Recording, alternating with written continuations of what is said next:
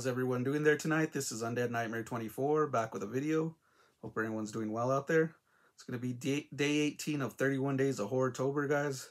This is a re-record. I did do this video yesterday, but it got taken down, copyrighted by YouTube. So pretty much I'm not going to be able to show trailers anymore, guys. I apologize.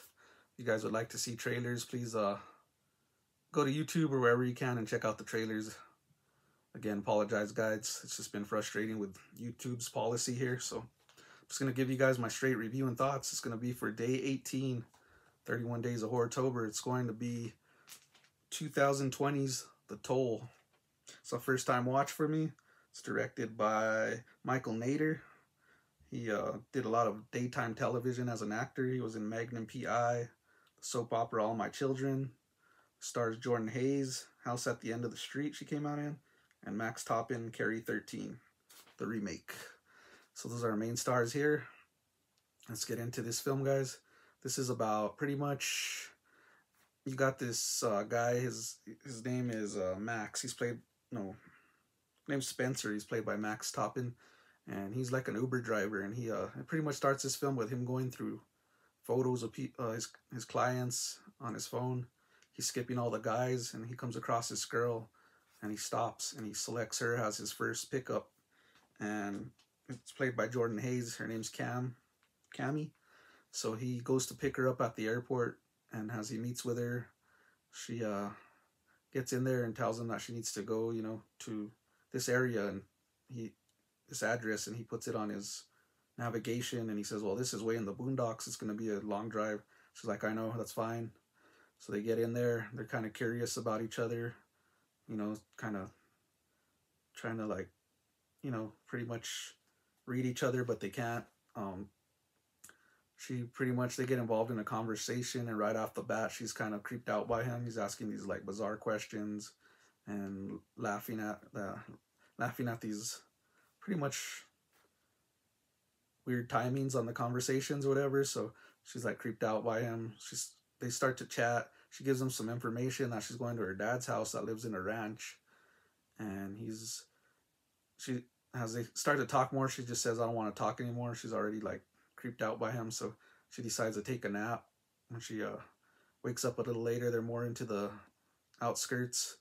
And as she wakes up they're talking again. And he pretty much tells her like about her pictures that he was looking at her on social media. So she starts to freak out even more. She gets her mace and puts it by her purse and as they continue to conversate there's this back and forth you know screening each other. They really don't trust each other. Um, as they get closer to the the woods there they're turning towards the driver max. He, not max. I keep calling him max. His name is spencer. He makes a turn and she tells him that's the wrong turn that he made a wrong turn and he tells her no that it's on the navigation. So as he shows her it it is true it is on the navigation. So she said oh maybe it's just a shortcut or something. So as they drive more down the road, they almost hit this kind of figure. He has to hit the brakes, and as this happens, um, it disappears this figure, and then their vehicle, of course, breaks down. It won't start. Um, his navigation goes off, so they're pretty much freaked out. Decide to go uh, look for help. She decides to go look for help, but as she goes around, she keeps going in a circle and ending up at the same same area. So then he attempts it, the driver, and he ends up in the same area as well. They're like in this pretty much like area it's real bizarre and they approach this lady which pretty much warns them that you know they're they're stuck in this dimension by this guy called the toll man and that the only thing he'll receive is pretty much their blood death. So they don't believe him. More bizarre stuff starts to happen and they have to kind of bond together and fight these hallucinations. He's this guy known as the Toll Man is pretty much he gets in their head and makes them hallucinate and tries to pretty much turn them on each other.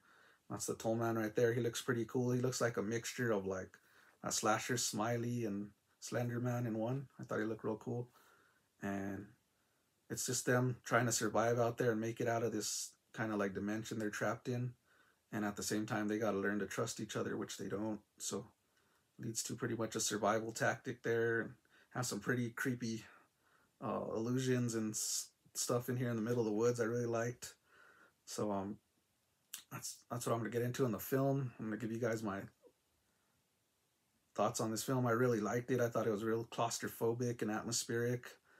I like the illusions, the look of the the evil entity in here, and everything else. I thought it was played well. I thought the back and forth between the main actress protagonist was excellent.